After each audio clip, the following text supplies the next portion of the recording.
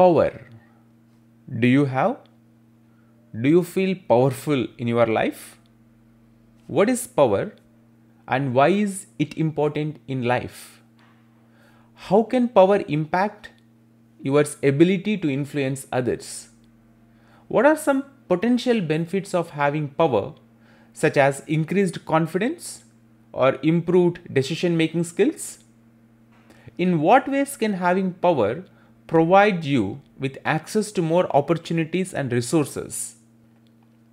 How can you use your power responsibly and ethically to avoid negative consequences? Are there any ethical or moral concerns associated with seeking power? If so, what are they? Is it wrong to gain power in our life? Is it wrong to feel powerful in our life? If you are interested to know answers to these questions, then listen to this podcast till the end. Hi, everybody. Welcome back to my channel Swamy Vijay, and this is Swamy Vijay speaking to all. In today's podcast, let us discuss what is power, what are the advantages of having power, and how to feel powerful in our life. It can be achieved by anybody in this world. So, why should we need power? Why is it important in our life? First one, if you have power, it gives you ability to influence others. So when you have power, with power, you have the ability to influence and shape the opinions and actions of others, whether it is in your personal or professional settings. So visualize the person who has power in your office, your boss, or the student who has power in his hands in your college, the person who has power in your country, how he or she influenced your ideas, shaped your thoughts, and affected your life. So, the people who have power, they have the ability to influence others. So, if you want to influence others, you must gain power in your life. Second important reason why power is important in our life increased opportunities. It will increase opportunities for you in your life. So, if you have power, with power, often you have access to more opportunities. You can access to more resources and you can access to more connections which can help you to achieve your goals and advance in your life and career. So if you have power, you will get more opportunities, you will have more resources and you will have more connections in your life. Then third reason why we should have power in our life, improved decision making. If you have power, you will have the decision making power in your hands so power often comes with increased responsibility which can improve an individual's decision making skills and ability to handle difficult situations. Think about a situation where you are just sitting silently, not having any power to take a decision because you don't have power. So, even though you have ideas, even though you have skills and talent and ability to take a decision, but when you don't have power, you are just sitting like a puppet or sitting like a doll without having courage to take a decision because you don't have power. So, having power improves decision making. Another reason importance of power is it increases confidence. Having power can boost your self confidence and self esteem, which can have a positive impact on your personal and professional relationships. So if you are in a position where you can exercise your power, it gives you lot of self-confidence and self-esteem and that is helpful in your personal and professional growth and in your personal and professional relationships. Then another reason why power is important in our life is improved ability to make a difference. So with power, you can have a greater impact on the world and make a difference in the lives of millions of people. So when you escalate to a position where you can exercise great power you can impact greater number of people. But without power you can't do anything in this life. So you need to gain power in your life to do good things. However it is important to note that power can also be a double edged sword. Misuse or abuse of power can have negative consequences such as damaged relationships, loss of trust, and a damaged reputation. It's essential to use power responsibly and ethically to avoid these negative consequences. Why we hate the people who are in power? Because they don't follow these ethical and moral responsibilities once they achieve the power into their hands. So, once you become powerful or once you achieve power, you need to be responsible to the people and you have to solve their problems. Okay, now you are in a position where you don't exercise a lot of power. Of course, some power is in your hands. Everybody is powerful in this world. We don't feel that power in our life. The reasons may be so many, but if you want to feel powerful in your life or if you want to achieve power in your life, then you need to follow these steps or you need to follow these tips and you need to understand what I'm going to speak next. If you want to feel powerful in your life, you may be a student, you may be an ordinary uh, what do you call a, a person employee in a office. You may you may be a woman you may be a man whomever you may be. Whatever you are in your life you can feel powerful by following these things.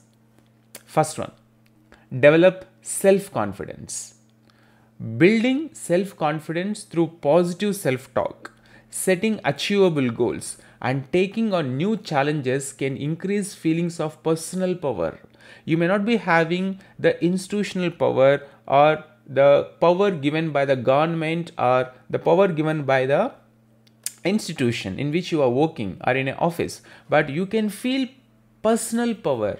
If you develop self confidence with self positive self talk and if you achieve small goals and if you accept new challenges it will make you feel powerful. That is called personal power.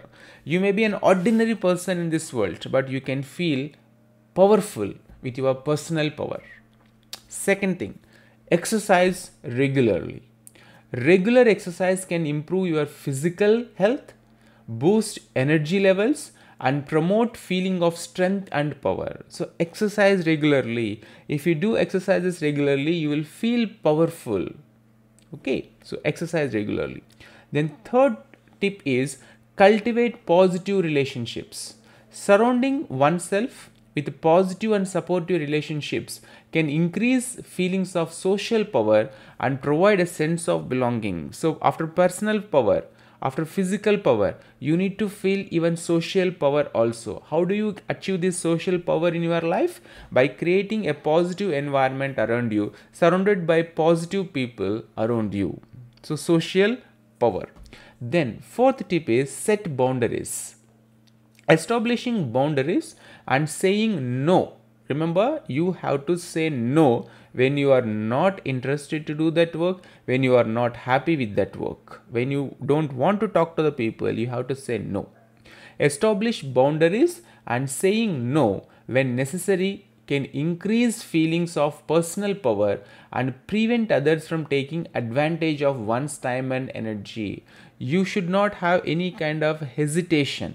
You should start telling no to people on their face when you are not happy with things or when you are not happy with those people when they are trying to exploit you you should say no. So if you have the ability and courage and confidence to say no that increases your feeling of power. Then next tip is take control of your life you have to actively make decisions. Don't leave everything to somebody else to take decisions in your life. Or don't leave everything to some supernatural power which you think that is decisions will be taken on your behalf and that will be beneficial for you. You should have the control uh, to take active decisions. So, actively make decisions or making decisions and taking control of one's life can increase feelings of personal power and reduce feelings of helplessness or victimization. You may be a woman, you may be a man, you may be an ordinary employee in your office, you may be an ordinary student, but you should actively involve yourselves in taking decisions and making decisions. And that will help you avoid feelings of helplessness and victimization. Then, next tip is practice gratitude. Focusing on the positive aspects of your life can increase feelings of personal power and reduce feelings of anxiety or depression. So, practice gratitude. You need to always go with positive self talk. You should not always go with negative self talk. If you do negative self talk, then you will not have that ability and you will never feel powerful in your life. Then, another tip is pursue passions and interests. So, engaging in activities and hobbies that you enjoy can increase feelings of personal power and promote a sense of purpose and fulfillment. So, what do you like? Whatever are hobbies, you pursue them, you try to improvise the skills or commercialize the skills in which you can use and you can gain money, you can earn money, you can gain name and fame. So, don't leave your personal interest and passions, pursue them. So, remember always that there are so many different powers we have personal power, social power, physical power. So, with all these things, you can feel powerful in your life. And always remember, feeling powerful should not come at the expense of others or involve using power in unethical or harmful ways. It is important to use power responsibly and ethically to maintain positive relationships and promote personal well being. So, you should have the feeling of power in your life. If you don't get power by default if you are in a very high position or if you are in a very powerful position obviously will enjoy power. But being an ordinary man being an ordinary individual you can feel powerful if you follow these steps. And feeling powerful will make a great difference in your personality. And people will identify that you are very dynamic in nature and very powerful in your attitude. So you need to develop self confidence exercise regularly create your positive relationships, set boundaries, take control of your life, practice gratitude, and pursue passions and interests which will make you feel powerful in your life. And what are the advantages if you become powerful and if you feel powerful in your life? It will give you your ability to influence, direct, or control the behavior of others or their own life circumstances and consequences. Of course, you may not control consequences, but the circumstances you can control. This power can be based on various factors such as wealth, social status, knowledge, skills, or personal attributes like confidence and charisma.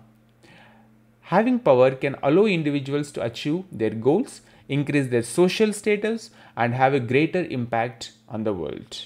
So, if you have power in your hands, if you use it positively, if you use it morally and ethically, and if you can make a difference in this world, then people will appreciate you, people will follow you, and people will consider you as a good leader.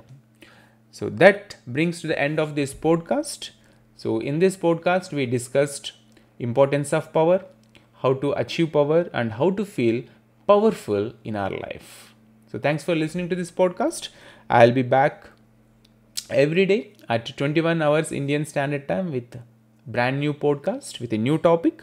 If you like this podcast, subscribe to my channel, hit the like button so that I'll get to know that you are liking or you like these videos. And in case if you want to suggest any topics to me, please leave your comments in the comment section below. I would try to publish videos on the topics suggested by you. So we'll meet again tomorrow at 21 hours Indian Standard Time. Till that, take care. Bye bye.